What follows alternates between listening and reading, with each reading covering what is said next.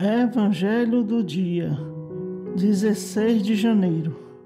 Marcos 2, 18 a 22. Os discípulos de João e os fariseus estavam jejuando. Vieram então perguntar a Jesus: Por que os discípulos de João e os discípulos dos fariseus jejuam e os teus discípulos não jejuam?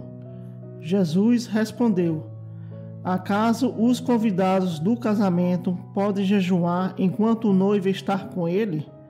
Enquanto o noivo está com eles, os convidados não podem jejuar. Dias virão em que o noivo lhes será tirado. Então, naquele dia, jejuarão. Ninguém costura remendo de pano novo em roupa velha, senão o remendo novo repuxa o pano velho e o rasgão fica maior ainda.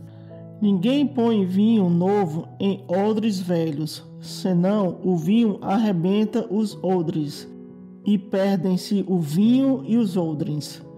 Mas o vinho novo em odres novos. Palavra da salvação. Glória a vós, Senhor.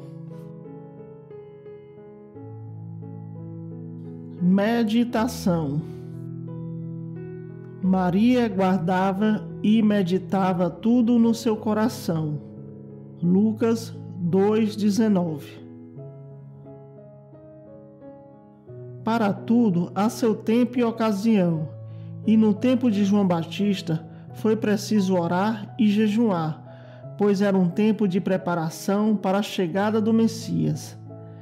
E como Jesus estava no meio deles, não tinham motivos para jejuar mas só depois da sua partida, para se fortificarem para as provações. E dizer que não se põe algo novo em coisas velhas é que não podemos comparar Jesus a nenhum outro profeta, pois cada um teve seu tempo e sua missão. E o que compete a Jesus é só dele, o Filho de Deus. A pregação de João foi para os discípulos de João, e no tempo de Jesus são novos vinhos, nova mensagem da Boa Nova, do Evangelho da Misericórdia, do Verbo, o Pai, que se fez carne para viver entre nós. Oração. Estejam atentos e perseverem na oração. Efésios 6,18 Senhor Jesus, ajuda-nos a termos a graça da perseverança, da oração e do jejum, para nos fortificar e estarmos preparados para as provações. Faça-se em nós novas todas as coisas no Espírito Santo. Apocalipse 21, 5. Amém.